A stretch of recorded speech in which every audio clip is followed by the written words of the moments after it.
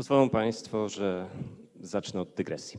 Po pierwsze, dygresja jest to moja ulubiona figura retoryczna i pozwoli mi się pewniej poczuć na tej wymagającej scenie. A po drugie, wbrew swej nazwie, być może dygresja ta gdzieś nas doprowadzi. Otóż parę tygodni temu otrzymałem pięknie sformułowaną wiadomość od organizatorów pewnego wydarzenia o nazwie TEDx Put. W tejże wiadomości przeczytałem, że organizatorzy mają ogromny zaszczyt zaprosić mnie jako prelegenta na toż wydarzenia. Jako osoba wybitnie zaznajomiona z YouTube'em, świetnie sobie zdawałem sprawę, czym jest TED, czym jest TEDx i że dużo mądrzejsze głowy od mojej pojawiają się na takich wydarzeniach. E, na szczęście zauważyłem w kalendarzu, że na ten sam dzień mam już zaplanowane inną prezentację, do której przygotowuję się od wielu tygodni.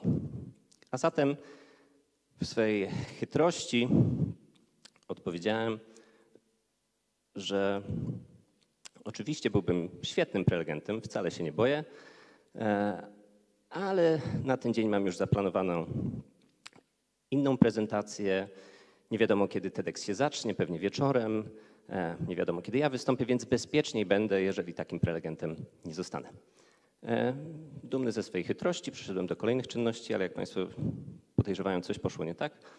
E, otóż dostałem wiadomość zwrotną i uwaga, to jest cytat. Serdecznie informujemy, że na takie wymówki się nie nabieramy. Może Pan wystąpić o 16.30. Pozdrawiamy TEDx Put.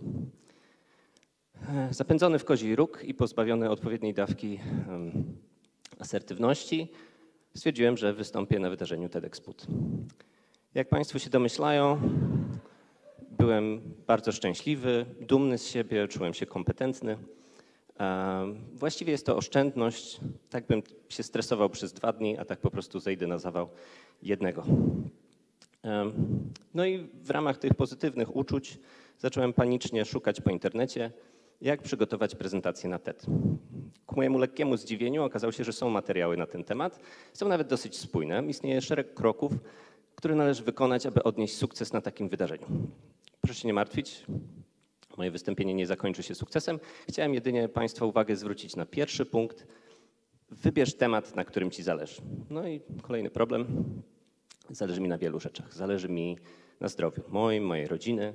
Ogólnie od jakiegoś czasu zależy mi też na badaniach nad genetyką, nad tym, że nowotwór to choroba genomu, jak dobierać terapię pod pacjentów.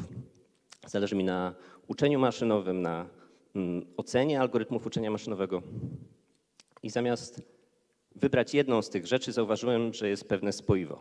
Coś, co łączy wszystkie te rzeczy, które wymieniłem. I tym czymś jest nauka.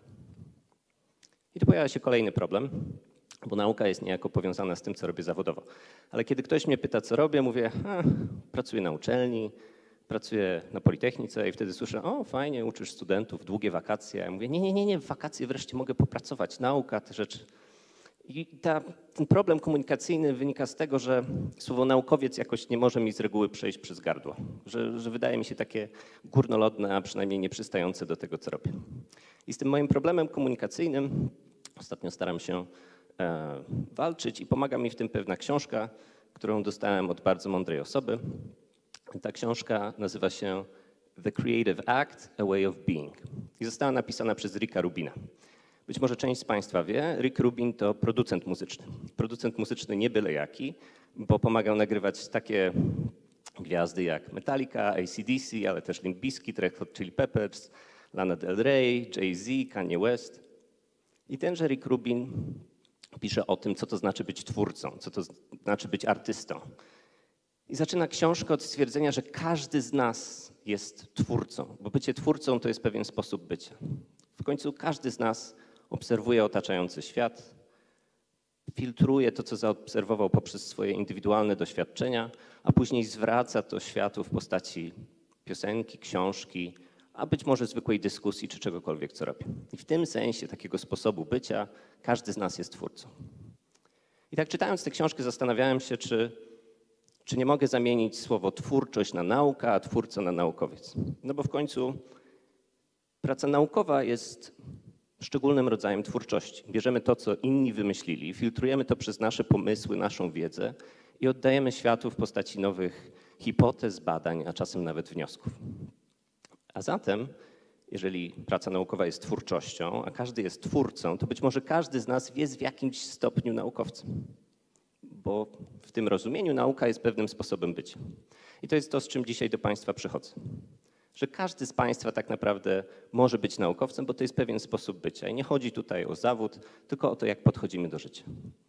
Pytanie tylko, jakie są cechy naukowca i co należy w sobie odkrywać i pielęgnować, by się takim naukowcem na co dzień stawać. I według mnie są cztery takie cechy. I pierwsza z nich to jest ciekawość i dążenie do prawdy. I to jest chyba najbardziej charakterystyczna cecha. Naukowcy to są ci dziwacy, których jak coś zaciekawi, to są skłonni do wielu poświęceń, by tylko dojść do prawdy.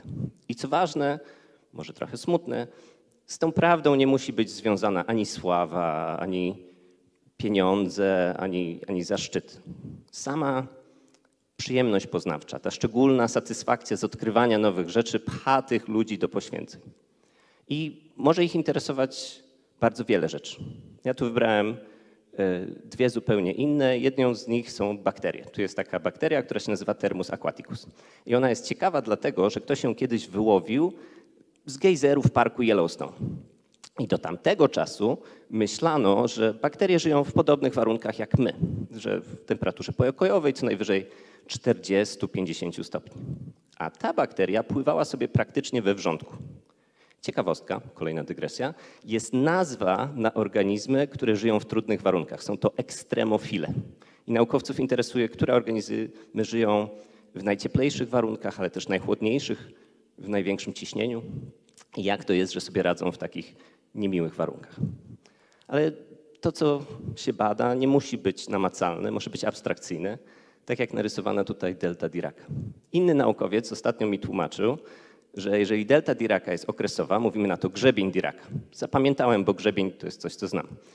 E, I teraz transformata Fouriera grzebienia Diraca też jest grzebieniem Diraca, tylko zamiast okresu t ma okres 1 przez t. Co jest ciekawe, ale też poniekąd przydatne, jeżeli powiemy, że e, grzebień Diraca służy do próbkowania. Jest to ważna rzecz w telekomunikacji. Ale to, czy to jest ważne, czy to jest przydatne, tak naprawdę dla naukowców nie jest ważne. Drugą cechą, na którą chciałem zwrócić uwagę, jest krytycyzm albo samokrytycyzm. Jeżeli mamy odkrywać prawdę, to warto podejść do tego ostrożnie. I ludzie czasami się zastanawiają, czy można ufać naukowcom. Według mnie naukowcy sami sobie nie ufają. Tak sami krytykują swoją pracę, szukają dziury w całym. Jak słyszą innego naukowca, to zaczynają go krytykować, żeby mieć pewność, że to jest prawda. Więc ponieważ naukowcy sami sobie nie ufają, być może są najbardziej godni zaufania. Warto zaznaczyć, że tę cechę należy dawkować z umiarem, ponieważ krytycyzm może przerodzić się w złośliwość. Więc chodzi bardziej o taki dydaktyczny charakter albo o komunikację, żeby dojść do prawdy, a nie tylko krytykowanie samo w sobie. I tu jako ciekawostkę e, lubię pokazywać coś, co wyszło z krytycyzmu. Pewna doktorantka zajmująca się e, lodowcami na Twitterze, znana jako Glacial Meg, napisała, że jak to jest, że jak wszyscy mówią o wierzchołku góry lodowej, rysują lodowce, które są niestabilne. I z tej krytyki wyrosła taka aplikacja, gdzie mogą Państwo narysować sobie lodowiec i zobaczyć, czy jest on stabilny. Bo wszyscy rysują te takie lody i one by się na pewno obróciły na bok. I ktoś powie, że to jest szczegół i że naukowiec się czepia, ale jak Państwo widzą, ma to jakiś taki charakter dydaktyczny. I może następnym razem, kiedy Państwo narysują lodowiec, sprawdzą Państwo, czy jest on stabilny. Trzecią cechą ważną dla naukowców jest współpraca. Profesor Heller napisze, że uczony nigdy nie pracuje sam. Powiedzą Państwo, jak to? A ten siwy uczony nad biurkiem, otoczony książkami, który samotnie z kartką papieru walczy z kolejną teorią? Otóż współpraca może być bezpośrednia, ale może być też pośrednia. Ten uczony współpracuje z tymi wszystkimi osobami, którzy napisali te książki. Trzeba odnieść się do tego, co inni wymyślili, zanim wymyślimy coś własnego. Co więcej, jak się gromadzi tę wiedzę i odkrywa rzeczy, to jest taka konieczność wysłowienia tego. Niekoniecznie na tej scenie, ale mówienia, czym się człowiek zajmuje. I poprzez recenzowanie tego, co się powiedziało, poprzez słuchanie krytyki, też współpracujemy z innymi osobami. I czwarta cecha to jest coś, co nazwałbym znajomość prawa narastania. To jest kolejny problem, z którym czasami się spotykałem. A Darek, ty jesteś informatykiem. Po co ta nauka? Nie lepiej zrobić coś przydatnego, nie lepiej zrobić coś namacalnego, coś, coś co ma jakiś bezpośredni wpływ. I jest to uzasadnione pytanie, z którym zawsze mam problem, ale im więcej pracuję w tej dziedzinie, zauważam, że nawet te małe rzeczy, które się wymyśli, mogą stworzyć coś większego. I tak Thermus aquaticus jest bakterią, która ma bardzo przydatny enzym, który się nazywa, nazywa polimeraza TAC. TAC od Thermus aquaticus. I to jest podstawowy element procesu, który się nazywa Polymerase Chain Reaction, w skrócie PCR. Być może nawet Państwa próbki były wykonywane, na Państwa próbkach były wykonywane badania pod kątem covid za pomocą PCR. PCR jest też podstawą sekwencjonowania genomu, więc badanie nowotworów, dobierania terapii pod pacjentów też wykorzystują gdzieś tam Thermus aquaticus. A to, że ja mogę w tak pewnym uproszczeniu narysować model atomowy 3D tego białka, zawdzięczamy grzebieniowi Diraka i metodom eksperymentalnym, które zdjęcia dyfrakcyjne 2D potrafią przenieść do przestrzeni 3D. Ktoś powie, że złośliwie dobrałem przykłady, co oczywiście jest prawdą, ale gdybym wybrał jakiekolwiek białko, to jest to komponent takich narzędzi jak AlphaFold albo RosettaFold, które pozwalają na podstawie sekwencji aminokwasów zobaczyć, jaki jest kształt potencjalny danego białka. A co więcej, dzisiaj możemy też odkrywać nowe enzymy, możemy projektować nowe białka i za pomocą nich lepiej poznawać biologię. Ktoś powie, OK, białka są przydatne, ale tak naprawdę jakikolwiek tekst pisany, naukowy jest obecnie wykorzystywany przez modele uczenia maszynowego, aby nas wspomagać i naszą ludzką wiedzę dostarczać każdemu. I to jest ten moment w każdej prezentacji TED, kiedy powinienem powiedzieć, że naukowy sposób bycia gwarantuje dłuższe życie, niższy poziom stresu i ogólnie ponadprzeciętne zadowolenie z pracy. Niestety takie badania, jeżeli są już prowadzone, to są pod kątem ilorazu inteligencji lub wykonywanego zawodu, a nie sposobu bycia. Więc tego nie jestem w stanie zagwarantować. Jedyne, co mogę obiecać, to przyjemność poznawcza, gdy coś odkryjemy i pewne komplementarne spojrzenie na świat. Bo w takim bardzo medialnym środowisku, w jakim się obracamy, czasami możemy wpaść w pułapkę skupiania się na jednostkach, indywidualnościach, które samotnie rewolucjonizują świat, zdobywają pierwsze strony gazet, a nam przypada jedynie rola jakiejś pobocznej postaci w większej grze, na którą nie mamy wpływu. Naukowiec z kolei dostrzeże, że każdy z nas za pomocą wytrwałości, dążenia do prawdy, za pomocą krytycznego spojrzenia i współpracy z innymi, jest w stanie wpływać na to, jaki świat budujemy i dokąd zmierza. I tego Państwu życzę. Dziękuję.